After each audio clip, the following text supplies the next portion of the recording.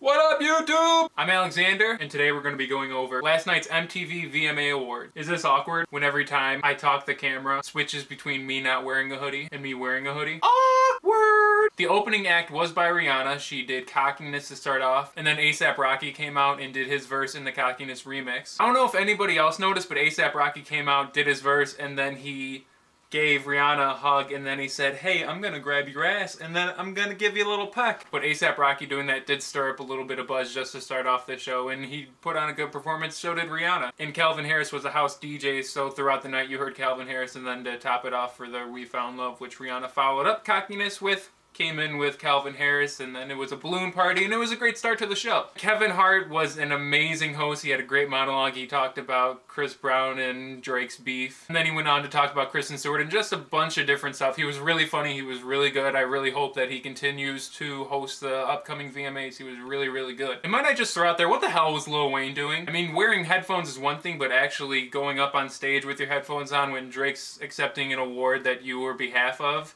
I mean, that's kind of BS. It was just very childish and very disrespectful, and I don't know if he wanted a lot of attention, because he did catch a lot of attention, but obviously for the wrong reasons. But somebody who caught attention for good reasons is Frank Ocean. Oh my god, I love Frank Ocean so much! He without a doubt had the best performance of the night. He came on stage, he serenaded our earlobes, he molested our brain. He did an acoustic version of Thinking About You and his voice was top notch, the performance was top notch. It was just it was really eerie and it was really, really good. It, I felt a real good connection with it and overall it was the best performance of the night. Now we're to move on to the awards and one thing that pissed me off is that they didn't show Best Rock Video. The main category that the VMAs were pretty much built on were pop and rock and you're not even to show in case you didn't know, which you probably don't know because it wasn't shown, is the best rock video was Coldplay's Paradise, which I am happy for, but Jack White got snubbed, Black Keys got snubbed, but still, I'm a big Coldplay fan, I'm happy that they won, but I'm just really, really pissed off that they didn't even put it on television. They probably didn't even invite them there, so that's very, very disrespectful to that awesome category. And then I can just lead into a big subject about how MTV only cares about music one night out of the whole year now just because of the MTV Video Music Awards, but all the other nights,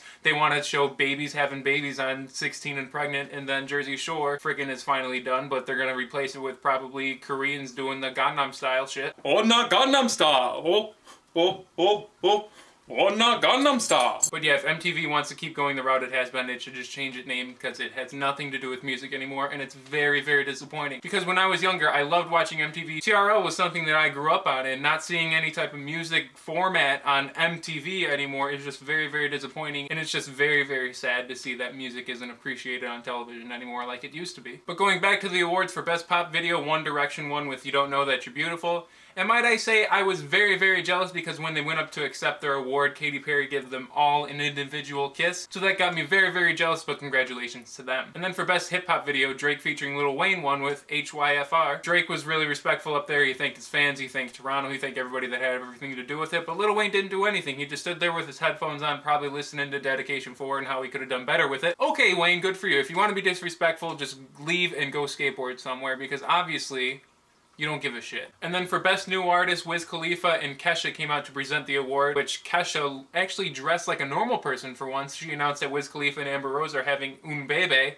Congratulations to Wiz E Amber. I was very surprised that Kesha was actually dressed like a normal human being. But the award went to One Direction, which they did deserve, but still, I think Frank Ocean should have won it. Either way, congratulations to One Direction on your two awards. For Best Female Video, Nicki Minaj won with Starships, and one thing that caught my eye when she walked up to go accept her award, she walked straight past Katy Perry and Rihanna, who were also nominated in it, and did not even give a glance at them. Kind of disrespectful, but at the same time, it's like, hey, both of you, look at my big ass as I walk by and get my award. So it's like, hey, screw you, but at the same time, it's like, hey, hey, screw you. That didn't make sense, did it?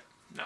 No, it didn't. But for best male video, Chris Brown with Turn Up the Music. What the hell was going on with Chris Brown's hair? It looked like Drake threw a bottle of shaving gel in and exploded in his hair. I don't know what the blue tips were. I don't know if he thinks that's cool, but I mean, he won the award, so good for him. And then last but not least, the video of the year went to Rihanna for We Found Love. What I don't understand is how she won video of the year, but she didn't win female video of the year. It's kind of a messed up system that MTV has there, kind of like the NBA draft. Am I right or am I right? I don't know if a lot of you caught this, but at the end, Taylor Swift did a performance of We Will Never Get Back Together, which was really cool. But what I thought was hilarious about the performance was when they cut to Taylor Lautner during the song, which pretty much everybody's assuming that's what the song is about, is about her and Taylor Lautner's relationship. And I just thought that was really hilarious that they just did a screenshot to him and then just right back to T Swift. She put on a great performance. Everybody put on a great performance except for Green Day. I don't know what they were doing. I mean, I like Green Day, but nowadays they're just old and they just need to stop. And then 2 Chainz and Lil Wayne, they were okay. They were there. But overall, it was good VMAs. It was a fun time. It was funny. Let me know what you thought about the VMAs, about the winners, the losers, the performances, what you think about them. Leave them down in the comments. And also, don't forget to subscribe to my channel and then like this video. Because if you don't like this video, I'm going to eat my cereal with a fork.